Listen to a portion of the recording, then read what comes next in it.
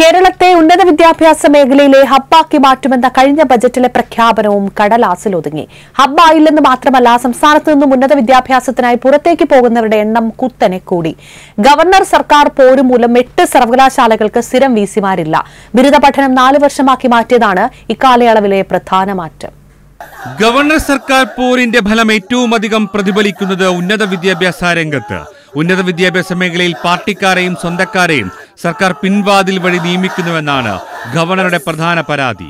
ഗവർണറുടെ പല നോമിനേഷനുകളും സ്വന്തം നിലയ്ക്ക് സംഘപരിവാർ ബന്ധമുള്ളവർ. കുതിച്ചുചാട്ടം നടത്തേണ്ട ഉന്നത വിദ്യാഭ്യാസ മേഖലയിൽ രാഷ്ട്രീയ അതിപ്രസരവും പോരും ബാക്കി.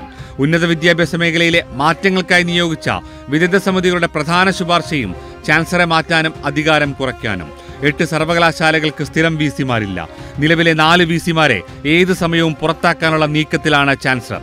നാൽപ്പത്തിമൂന്ന് സർക്കാർ കോളേജുകളിലും സ്ഥിരം പ്രിൻസിപ്പൽമാരുമില്ല. ഉത്തരവാദിത്തപ്പെട്ടവർ ഏറ്റുമുട്ടുമ്പോൾ വിദ്യാർത്ഥികൾ പഠിക്കാൻ കടൽ കടന്ന് പറക്കുന്നു. രണ്ടായിരത്തി ഇരുപത്തിയൊന്നിൽ മുപ്പത്തി എണ്ണായിരത്തി ഒരുന്നൂറ്റി മുപ്പത്തി ഒമ്പത് പേരാണ് വിദേശത്തേക്ക് പഠനത്തിനായി പോയത്. രണ്ടായിരത്തി ഇരുപത്തി മൂന്നിൽ നാൽപ്പത്തി അയ്യായിരത്തി ഒരുന്നൂറ്റി മുപ്പത്തി ഒമ്പത് നാഗ്രേഡിങ്ങിലും എൻ ഐ ആർ എഫ് റാങ്കിങ്ങിലും കേരളത്തിലെ കോളേജുകളും സർവകലാശാലകളും മെച്ചപ്പെട്ട നിലയിലേക്ക് ഉയർന്നത് വിവാദങ്ങൾക്കിടയിലും നേട്ടം. ബിരുദ പഠനം മൂന്ന് വർഷത്തിൽ നിന്നും നാലാക്കാൻ തീരുമാനിച്ചതും ഇക്കാലത്ത്. പ്രഖ്യാപിത ഇടതുനയം മാറ്റി സ്വകാര്യ സർവകലാശാലകൾക്ക് സി പി എം രാഷ്ട്രീയ തീരുമാനമെടുത്തു കഴിഞ്ഞു. ഉടൻ ബിൽ കൊണ്ടുവരും.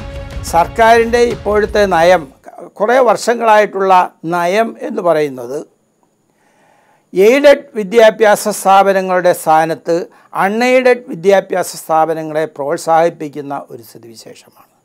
സ്വാഭാവികമായിട്ടും ഈ അൺഎയ്ഡഡ് വിദ്യാഭ്യാസ സ്ഥാപനങ്ങളുടെ കടന്നുകയറ്റം അനിയന്ത്രിതമായ കടന്നുകയറ്റം ഗുണത്തേക്കാളേറെ ദോഷം ഉണ്ടാക്കും എന്നാണ് ഞാൻ മനസ്സിലാക്കുന്നത്.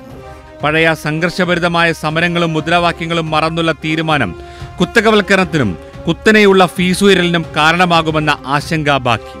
ഉന്നത വിദ്യാഭ്യാസ രംഗം ഉന്നത സംഘർഷ കേന്ദ്രങ്ങളായി മാറുമ്പോഴാണ് പുതിയ ബജറ്റ് വരുന്നത്. തിരുവനന്തപുരത്തും കെ ജി കമലേശ് ന്യൂസ്